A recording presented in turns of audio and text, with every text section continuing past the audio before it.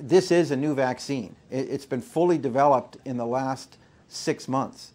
Uh, so as a result, we don't have millions of doses given to know how safe it is.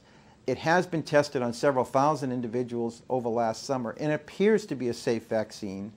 And also in experts that deal with vaccine manufacturing, the process and the type of vaccine it is, it, the anticipation is it will be a safe vaccine.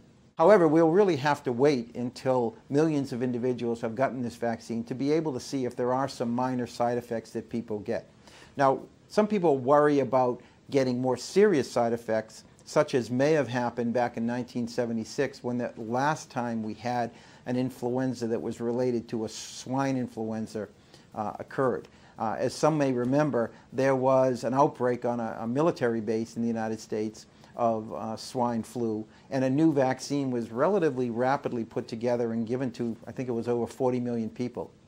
Some individuals developed a rare uh, peripheral nerve problem called Guillain-Barré syndrome, which could cause some paralysis, which in its most severe form could be life-threatening, but usually was a, you know, a, a self-limited disease that got better. It's still unclear to this day if this vaccine was actually associated with this uh, disorder or not.